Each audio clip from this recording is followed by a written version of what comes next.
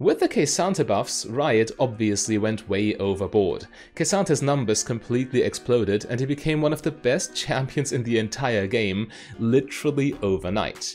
Yes, Riot noticed their mistake relatively quickly and hit K'Sante with a minor hotfix nerf, but this nerf was not even close to being enough. The champion remains just as ridiculously overtuned, especially since the doubling of his passive's bonus damage during his ultimate hadn't been touched at all. And it is his ultimate that gives K'Sante his very special privileged position among top lane tanks in general.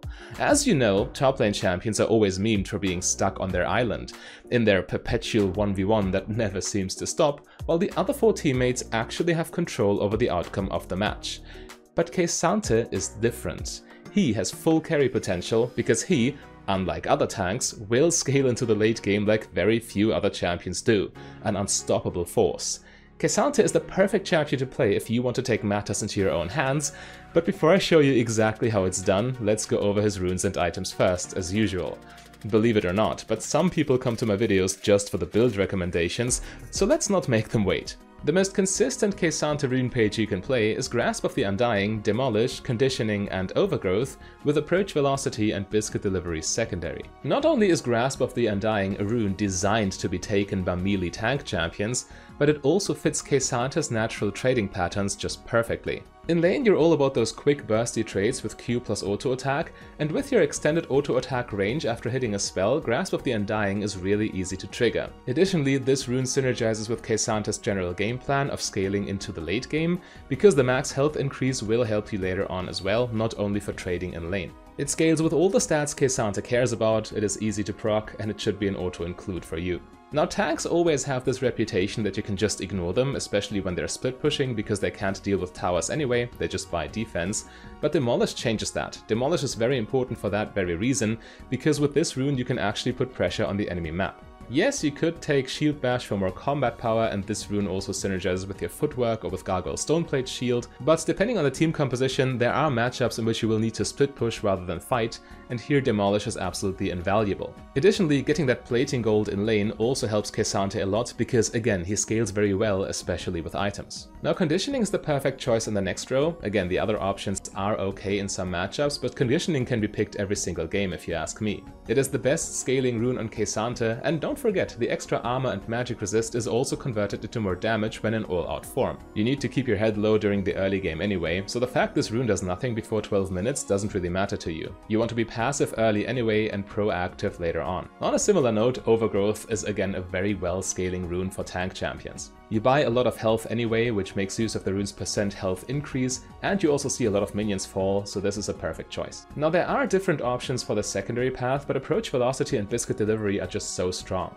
Approach velocity really allows you to force the enemy into the 1v1 with you if you so desire, especially once you get your mythic item, but we get to that in a second. However, even without items, K'Sante's kit is just perfectly designed to keep pushing the enemy around, and approach velocity makes you stick even harder with a 7.5% or 15% increased movement speed on slowed enemies. Biscuit Delivery is just a generally strong choice. Well, K'Sante's mana costs aren't too high, but biscuits still allow you to keep fighting for a longer time because you will spam Q quite a bit. However, the true value of this rune is buffing your early game with its regeneration. Having those 3 biscuits in lane where you're most vulnerable will go a long way to ensure you actually get to scale. The 10% attack speed shard is preferred over the adaptive force shard because you will weave in a lot of auto attacks with K'Sante as you trade, not only to trigger your Grasp of the Undying, but also to trigger your passive of course. The double armor shards are chosen in AD matchups, but against AP top laners you want double magic resist naturally. Okay, the item build. I mean, itemization on tanks is always a little bit iffy if you want to take a formulaic approach to it, because, well, tank items are designed to counter specific threats on the enemy team, but K'Sante's itemization is actually a little more straightforward than that of most other tanks. First of all, you start the early game with the Doran's Shield and with an early Bami's Cinder before getting your upgraded boots, either Steel Caps or Mercury Treads depending on the matchup. This gives you good sustain and Bami's Cinder also helps you with damage in longer fights and trades, but the main selling point is of course controlling the minion wave with Bami's Cinder.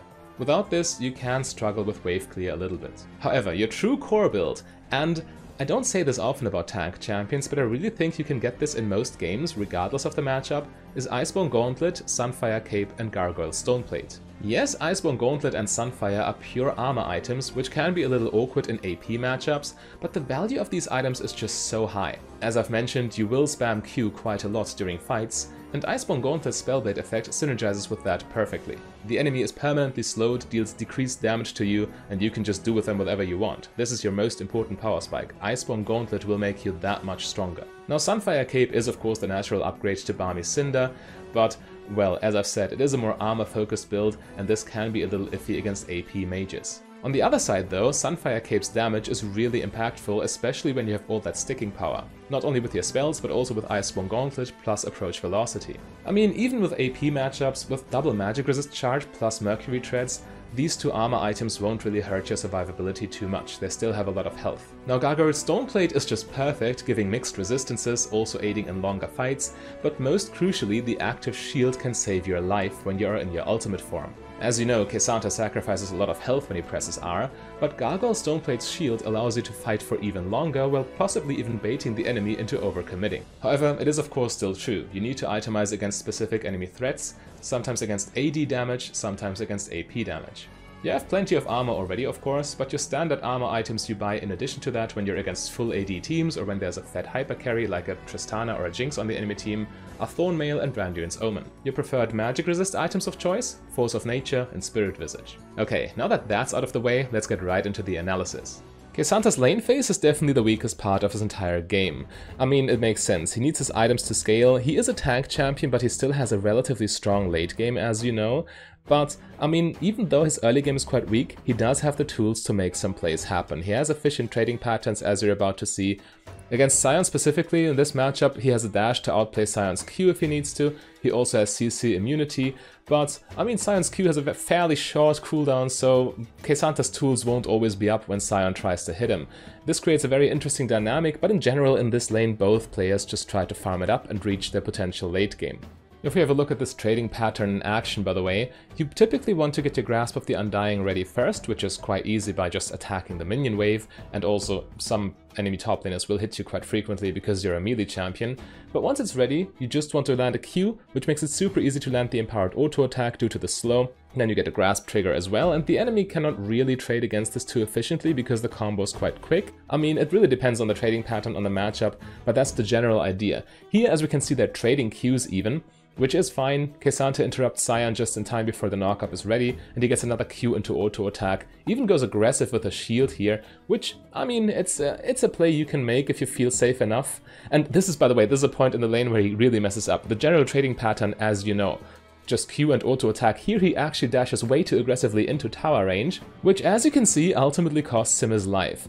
But yeah, I mean, if you want to play K'Sante the safe way, you should just keep it simple. You should go for the Q auto attacks and use your dash defensively, both of your dashes actually. It's way safer that way. That small mistake does make K'Sante's lane a little bit more difficult, but it's nothing major. It doesn't change your playing patterns as you can see. You're still going for the Q auto attack, so you can use the dash to get in range for Q auto, uh, or you can save your dash. It really depends on the situation and on the potential threat the enemy brings.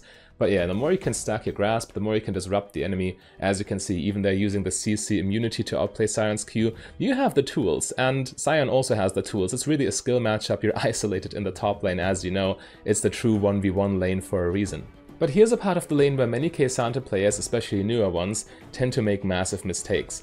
I mean, most early game champions really suffer before level 6, but as soon as they reach their level 6 power spike and unlock their ultimate, they have, uh, for example, Vayne. Vayne is a good one. Vayne is a ginormous power spike, level 6, and you tend to believe K'Sante would be the same way, so once you're level 6 you can just perma all in or 1v1 the enemy top laner, but that's not the case. K'Sante's ultimate is important, yes, but you also need your items still. You shouldn't go too aggressive even though you got your ultimate now. And this is what this K'Sante player is doing phenomenally by the way. He's playing it very patiently, doesn't change his game plan whatsoever, still tries to stack grasp and to trade efficiently, and doesn't just go blindly all in with his ult. You need your items first and foremost. Of course you still can go for plays if opportunities present themselves. Here for example, it looks like K'Sante can push Sion all the way into his tower, so first pushes him out of the bush and then ults him to for even more distance, but Sion's not, not quite in tower range, so that trade isn't... I mean it's still good because K'Sante's ultimate gives you a lot of combat 1v1 power, But against Sion, I mean Sion is very safe himself once he has his ultimate because he can always use it defensively, which is exactly what end up, ends up happening here. I mean, as you can see, K'Sante deals so much damage, chases Sion down with all the mobility, but Sion he has all the time in the world. K'Sante deals damage very consistently, doesn't have huge bursts, executes or whatever, so he's always safe. However, plays like these are what you can go for if you really feel like it. However, I strongly advise against this still if you're playing against early game lane bullies like Darius or whatever. Whenever there's a champion on the enemy team that can burst you down very quickly, this is super risky. In any case, there are situations in which your ultimate is always valuable regardless of the matchup, and this is when the enemy tries to gank you, because your ult effectively puts the enemy on a timer as you're about to see.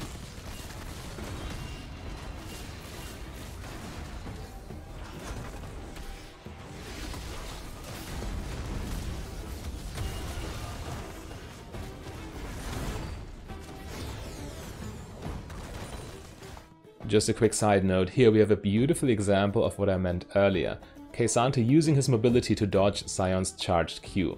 This is the dynamic I was alluding to. If you use it well, Sion can't really touch you. However, the point of this situation is, normally ganking a tank top laner is kind of free. You can outkite him and beat him with numbers advantage. K'Sante, however, with his ultimate, well, you deal so much more damage all of a sudden. Yes, you die faster too, but all this damage, the, the buffs you get in your ult form, you can definitely trade 1v1 in most cases, as is the case here. I mean, K'Sante will go down eventually too, as you saw, but getting a one-for-one trade when the enemy jungler had to use their time to actually get you is always valuable for your team. But while all of this is so far so good, this K'Sante definitely suffers from what I like to call top lane syndrome. You're isolated on your island there, and mid lane tower falls, and bot lane tower as well, as you can see, but there is nothing a top laner can do here. You are still stuck on your island and there's nothing you can do to prevent your team from slowly but surely losing the map. However, as you will see, K'Sante is a little different, because K'Sante has the late game carry potential unlike most other top lane tanks. And the late game is definitely something K'Sante can look forward to. As mentioned, the first item power spike, or your item power spikes in general on this champion, are just massive, and here just with his mythic he can trade so efficiently against Sion, there's essentially no way Sion can kill him anymore or can put any kind of pressure on him. K'Sante can outkite him easily, freely stack his grasp, and freely farm his wave. In fact, K'Sante has complete lane control at this point, despite the fact that Sion scales quite well himself. Sion is the one who needs to be careful not to overextend, as K'Sante can punish him very heavily for every single mistake, while also pushing the wave non-stop, being unpunishable by also enemy jungle ganks. And quite frankly, when it is your teammate who comes to your aid, the enemy Sion is just dead on the spot. K'Sante is just super oppressive here, the slow is incredible, the follow-up from Ezreal's damage is super free because the enemy is just pushed around and locked down, and as you can see, they also make an easy escape here, just a good value play in the top lane overall. Oh, and at this stage of the game, entering the mid and late game, K'Sante is also a phenomenal split pusher who can 1v1 the enemy top laner when he needs to. When I said Sion is the one who needs to be careful now, I really meant it.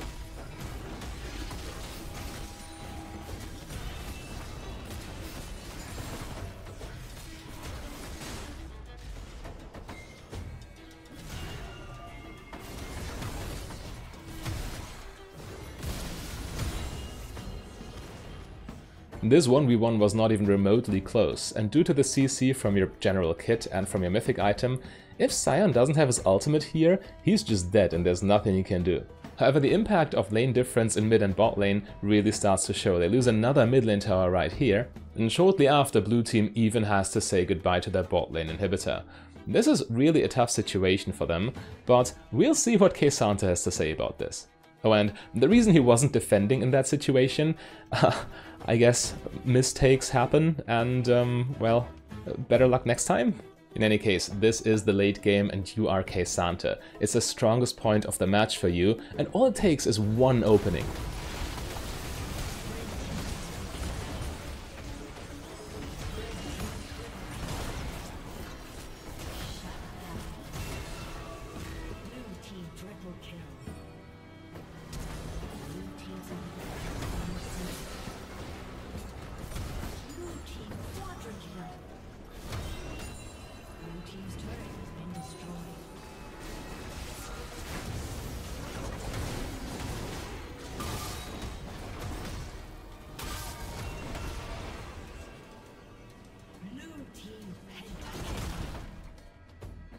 If the enemy carry is foolish enough to be in your ult range, or in this case even in melee range, anyway, you pull the trigger on your R immediately and one-shot them with your buffed damage. From there it is an easy cleanup with your mobility and your DPS, because the enemy falls so quickly, especially with your defensive items, your low health doesn't even matter all that much. But I must say I think it's kinda ironic how the top laners, the two who are stuck on the island in the early game, are the ones who are carrying the team fight for their respective teams in this situation. K'Sante's team does come out on top here, and this is quite crucial for the turnaround of the game, and we of course have to take a moment to appreciate how much of a bro this Master is, just standing aside giving K'Sante that well-deserved pentakill. The last example was of course kind of weird, because both teams ended up getting caught by the um, respective other team's enemy top laner, which led to very chaotic dynamics. However, in most cases, such as in this one, it's more likely that you're just in the middle of the fight and keep disrupting the enemy with your hard CC spells, which have very short cooldown by the way, while still tanking absolutely everything and pressing R when the situation is right. Team fighting with K'Sante really is just as easy, since it is very straightforward for your teammates what they have to do. You got nothing to worry about because you're so incredibly tanky, and whenever you attack someone with your crowd control, your allies can follow up very easily. If you want even more information on K'Sante and how to play him, then click the link on your screen right there.